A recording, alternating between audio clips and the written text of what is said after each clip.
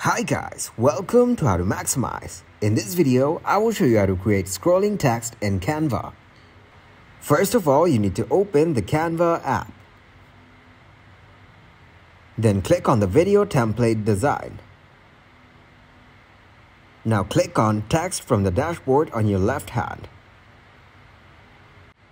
Then choose the text style from text. You can write anything in this text style and drag the text anywhere on the page. After that, click on Your Page from the timeline bar and tap on three dots from the top of the page. Then click on Duplicate Page. After creating a duplicate page, now you can drag a text from left side to the right side of the page. Then you can see the difference in both pages. One has the text on its left side and the other one has the text on its right side.